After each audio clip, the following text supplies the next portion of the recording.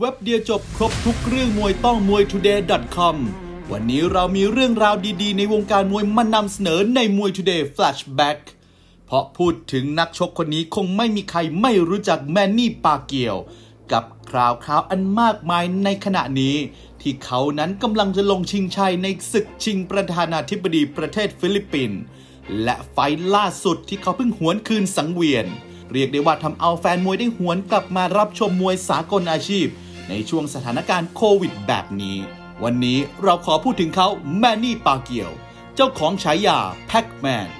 ยอดนักชกจากประเทศฟิลิปปินส์ในฐานะนักมวยสากลที่โด่งดังที่สุดคนหนึ่งของโลก เขาเกิดในวันที่ 17 ธันวาคม พุทธศักราช 2521 ณ เมืองบูคิดนอน ประเทศฟิลิปปินส์ มีชื่อเต็มๆว่าเอ็มมานูเอล ดาปิดรัน ปาเกียว เขาเป็นบุตรชายคนที่สองในบรรดาลูกๆทั้งหมด 4 คนของโรซาลิโอและดิโอนิเซียปาเกียว ทั้งคู่แยกทางกันตั้งแต่ปาเกียวยังเล็ก ๆ ครับ แต่สำหรับปาเกียวนั้นเขาขึ้นชกมวยด้วยความยากจน ขึ้นชกมวยสากลอาชีพครั้งแรกเมื่อต้นปี 2538 ณ กรุงมะนิลา ซึ่งเป็นเมืองหลวงของประเทศฟิลิปปินส์ได้ค่าตัวครั้งแรกเพียงแค่ 100 เปโซ โดยที่เขานั้นส่งเงินมาช่วยเหลือครอบครัวโดยตลอดครับ แมนนี่ปาเกียวถือเป็นนักมวยฟิลิปปินส์ที่ไม่เหมือนกับนักมวยท่านอื่นๆ ในประเทศ เพราะด้วยความที่เขาเป็นมวยทรหดหมัดหนักทั้งซ้ายและขวา จิตใจห้าวหาญไม่กลัวใครและสภาพร่างกายที่แข็งแรง โดยปาเกียวสามารถเอาชนะนักมวยไทยที่มีฝีมือเก่งฉกาจได้ถึง 2 คน นั่นก็คือโชคชัยโชควิวัฒและชัดชัยสาสกุล โดยเฉพาะการเอาชนะครูหนึ่งชัดชัย เป็นการเอาชนะน็อกไปโดยไม่มีใครเคยคาดคิดมาก่อน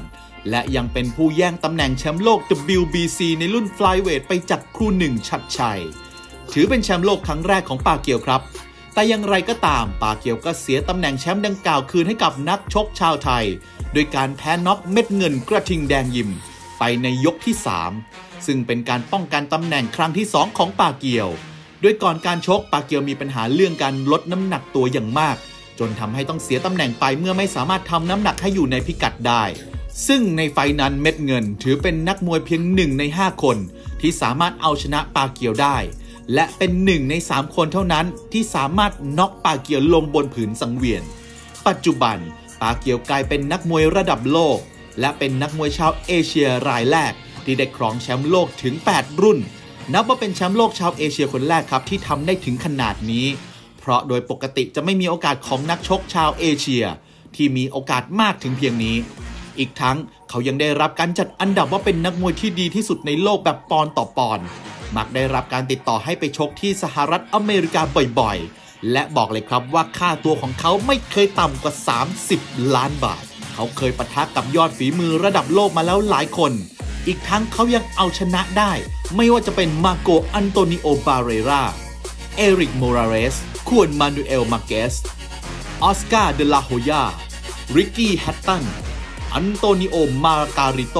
และเขายังถือว่าเป็นชาวฟิลิปปินส์ที่คนทั้งโลกรู้จักดีเทียบเท่ากับประธานาธิบดีในตอนนั้น นอกจากนี้ ปาเกียวยังได้รับเกียรติให้เป็นผู้เชิญธงชาติฟิลิปปินส์ในพิธีเปิดโอลิมปิกฤดูร้อนปี 2008 ณ กรุงปักกิ่งประเทศจีน แม้ว่าตัวปาเกียวจะไม่ได้ร่วมการแข่งขันด้วยก็ตาม แต่แมนนี่ปาเกียวเคยได้เซ็นสัญญาชกกับฟอยเมเทเวตจูเนียนักมวยที่ได้รับการยอมรับว่าเป็นอันดับหนึ่งของโลก ซึ่งสถิติการชกไม่เคยเสมอหรือแพ้ใคร ผลในการชกปรากฏว่า ปาเกียวเป็นฝ่ายเดินเข้าหาและออกหมัดใส่รัวๆ ในขณะที่เมเทเวตจูเนียเน้นการชกอยู่วงนอก และเต้นพลิ้วหลบหมัดของปาเกียวไปได้หลายครั้ง ในการชกในยกที่ 6 และ 8 ปาเกียวสามารถไล่เมเทเวตจูเนียเข้าไปที่มุม และรัวหมัดชุดใส่ แต่ในยกต่อๆมาเมเทเวตจูเนียกลับมาชกในรูปแบบเดิมเมื่อครบ 12 ยก ปาเกียวกลายเป็นฝ่ายแพ้คะแนนไปอย่างเป็นเอกฉันท์และเมื่อวันอาทิตย์ที่ 22 สิงหาคมที่ผ่านมาท่ามกลางสถานการณ์โควิดที่กำลังค่อยๆ คลี่คลายในต่างประเทศ ปาเกียวกลับมาทวงบัลลังก์แชมป์โลก ในการชิงแชมป์เข็มขัด super world champion รุ่นเวลเตอร์เวทกับยอร์เดนิสอูกัส แชมป์โลกสมาคมมวยโลก WBA รุ่นเวลเตอร์เวทคนปัจจุบัน ซึ่งในการชกที่มีการจัดขึ้นที่ผ่านมา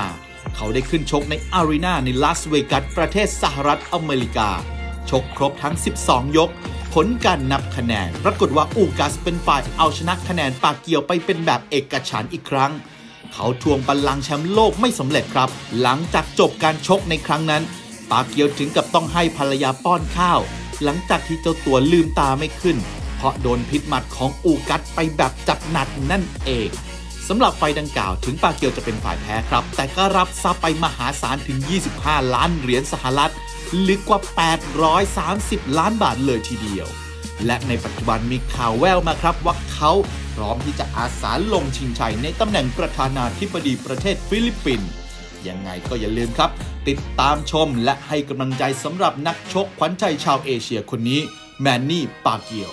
และอย่าลืมกดไลค์กดแชร์กด Subscribe มีความคิดเห็นอย่างไร อย่าลืมกดคอมเมนต์เข้ามากันได้ เว็บเดียวจบครบทุกเรื่องมวยต้องมวย today.com